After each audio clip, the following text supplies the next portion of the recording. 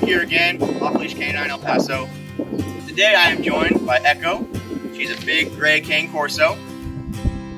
Echo already has kind of a foundation of basic obedience commands, but she doesn't really have a whole lot of stability as you see. So she was brought to us to get that rock solid obedience. Uh, in addition to that, she also has some minor to moderate reactivity around strangers and some animals. She'll jump upon her owner and company sometimes if she's excited. Uh, she'll also occasionally pull on the leash.